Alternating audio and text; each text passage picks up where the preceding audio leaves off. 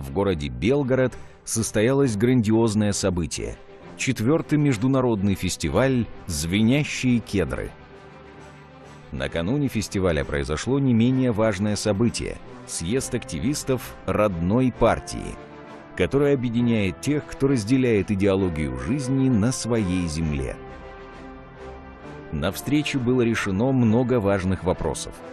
Лидером партии был выбран Владимир Николаевич Мигре, известный российский писатель, автор серии книг «Звенящие кедры России». Ведь именно его книги послужили началом новой идеологии, началом нового образа жизни. Люди осознали, что можно жить по-другому, жить в единении с природой, создавать пространство любви в своем родовом поместье, дать светлое будущее своим детям. Книги получили отклик в сердцах тысяч людей, и на сегодняшний день идея, описанная в книгах, стала национальной идеей России. По всей стране создано уже более 210 поселений, состоящих из родовых поместий. Для людей очень важно, чтобы был принят закон о родовых поместьях на федеральном уровне. Чтобы на федеральном уровне был принят закон о выделении всем желающим жить на земле земельного участка размером 1 гектар или кто сколько пожелает пожизненное наследуемое владение без права продажи и перепродажи.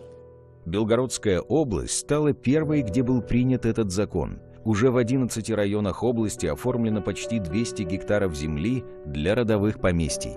И именно поэтому для проведения четвертого международного фестиваля «Звенящие кедры» был выбран город Белгород. Жители Белгорода славятся своей теплотой и гостеприимством. Они радушно встретили гостей из разных уголков России, ближнего и дальнего зарубежья.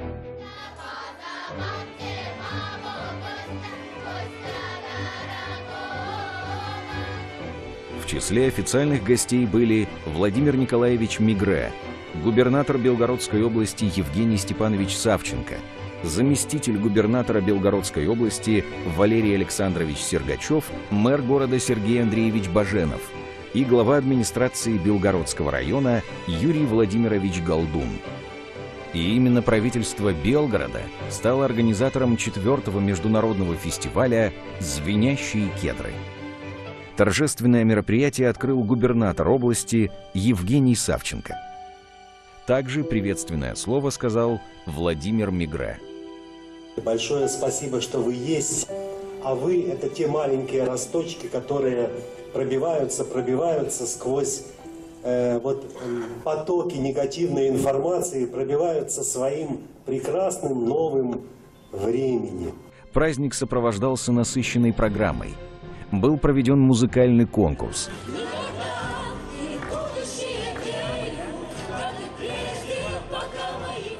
Была организована ярмарка, в которой приняли участие представители родовых поместий из разных регионов России. Фестиваль «Звенящие кедры» – масштабное и значимое мероприятие. События освещали местные и региональные СМИ – была проведена пресс-конференция, на которой Владимир Мигре и представители власти ответили на все интересующие вопросы. Почему именно Белгородская область что вы хотите увидеть здесь, услышать, узнать нового для себя? Белгородская область первой приняла закон о родовых поместьях. Поэтому вот меня интересует э, прежде всего атмосфера, которая складывается. Здесь э, очень дружественная атмосфера между людьми и властью. Они, в общем-то, как на равных общаются. Вот это мне нравится. В завершении дня Владимир Николаевич смог поближе пообщаться со своими читателями. Он вас, так скажем, вдохновлял на новые книги. Вот, вот такой вот позитивный. Второй день фестиваля прошел в поселении родовых поместий Серебряный Бор в селе Устинка Белгородского района. Поселения родовых поместий – это уникальные места на нашей земле. Ведь здесь люди возвращаются к своим истокам и живут в гармонии с собой и природой. У меня есть детская своя полянка, у меня там клумбы, растения. Главное, это мы несем здоровый образ жизни родового поместья. Это самое главное. Гости смогли поближе познакомиться с бытом и образом жизни жителей поселения. На протяжении всего праздника работала выставка декоративно-прикладного искусства и ремесел, а также мастер-классы по кружевоплетению на коклюшках, ручного ткачества и декоративной стежки. На центральной площадке выступили лучшие народные и фольклорные коллективы. В рамках открытого марафона любой желающий мог поделиться своим творчеством, стихами и песнями.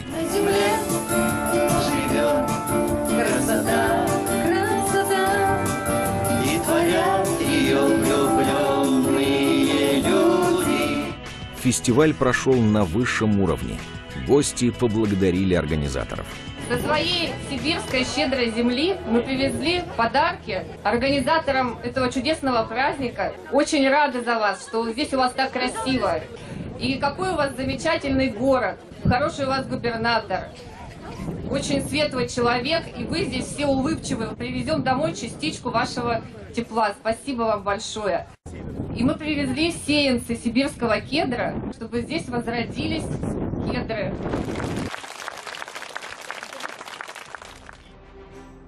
Очень важно, что представители власти Белгорода понимают всю ценность и необходимость поселений родовых поместий.